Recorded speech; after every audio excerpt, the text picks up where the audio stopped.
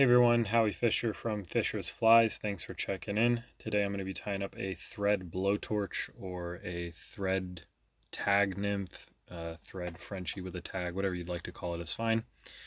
Uh, for the th hook, I'm using a freshwater 555 from Ahrex in size 14, paired with a 3.5 millimeter slotted tungsten bead in copper.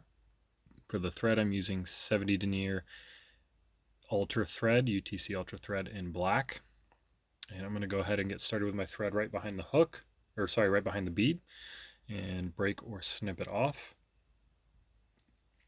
And immediately I'm going to go for my first material. This is Glo-Brite 5 fluorescent orange. There's a number of materials uh, that are similar to Glow, Glo-Brite that you could use here. And I'm going to go ahead and secure this the full length of the body to help the body be uniform and smooth. I'm going to bring this right back to the bend of the hook, just slightly past the hook point as you can see here, and then bring my thread back up to the bead.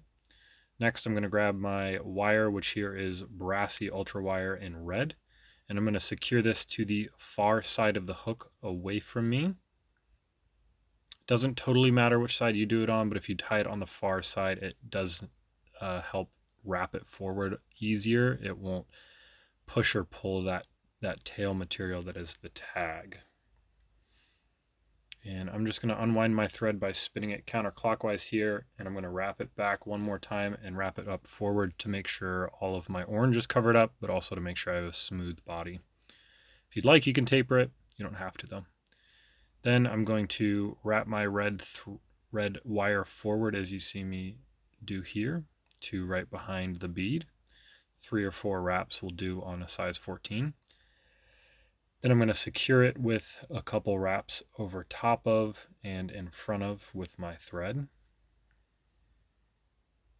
And then I will helicopter this wire off. Next is my collar. Here I'm using Ice Dub UV Shrimp Pink.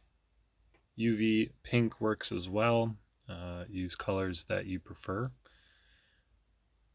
This is acting as a hotspot collar. I'm going to go ahead and create just a little dubbing noodle, go ahead and wrap it up, and then whip finish.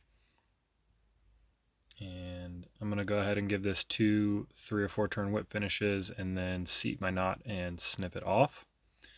And then what I'm also going to do here is snip the tail. I like to do this at the end. It's just personal preference. You can do it first thing if you'd like.